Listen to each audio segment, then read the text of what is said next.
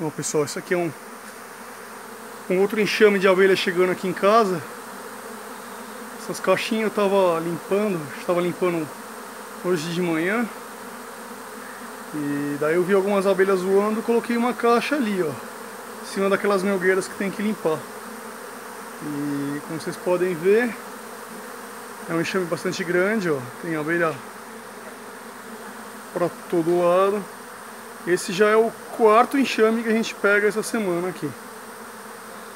Bom, qualquer dúvida, se tiver alguma pergunta, é só colocar aí no YouTube que eu respondo. Um abraço a todos e bom dia.